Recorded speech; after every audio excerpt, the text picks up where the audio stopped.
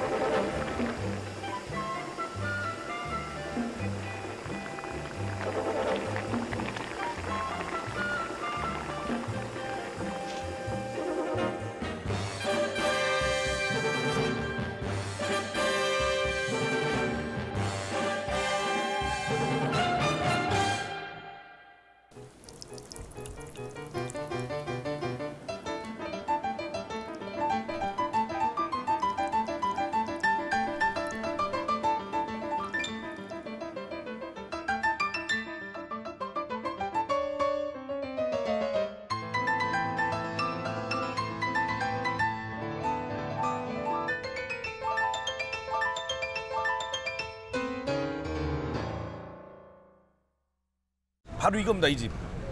이 집의 11시 넘어 완소 아이템 이겁니다. 이걸 일단은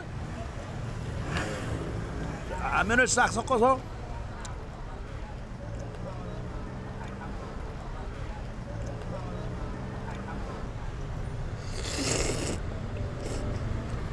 아 뜨거. 이게 뭐요?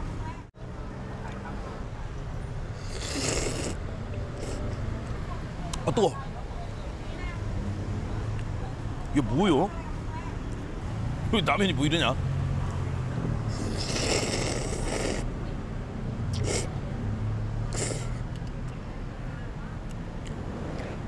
야 이거 웃긴다.ต้ม양꿍 국물에 라면 끓인 거예요. 근데 거기 라면 스프도 넣은 것 같아요.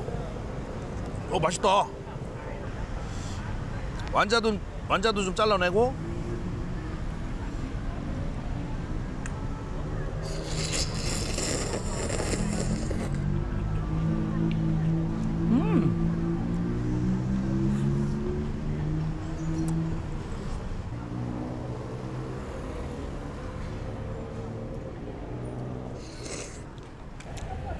야 이거 맛있다.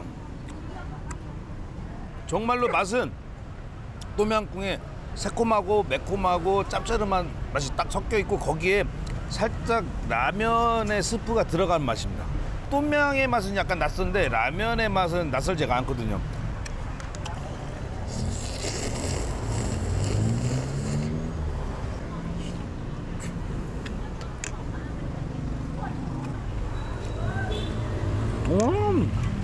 무끄럽.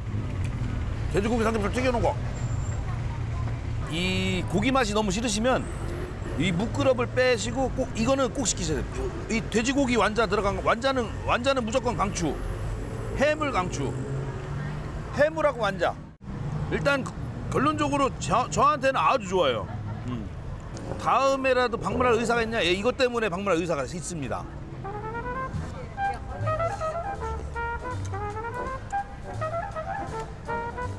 이게 왜 젊은이들이 좋아하는지 알 것 같아.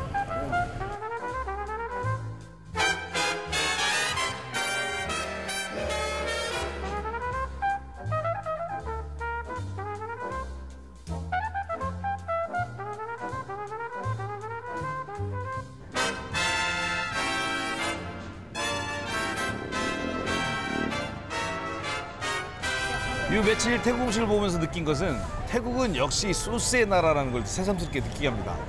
어, 느 식당, 어느 가게를 가든 반드시 그 가게가 자랑하는 소스가 있고 또 테이블마다 손님이 자기 취향에 맞춰서 음식을 더 맛있게 먹을 수 있는 소스가 존재하는 걸 보고 소스로서 완성되는 에, 소스의 도시가 바로 방콕 아닌가 싶습니다.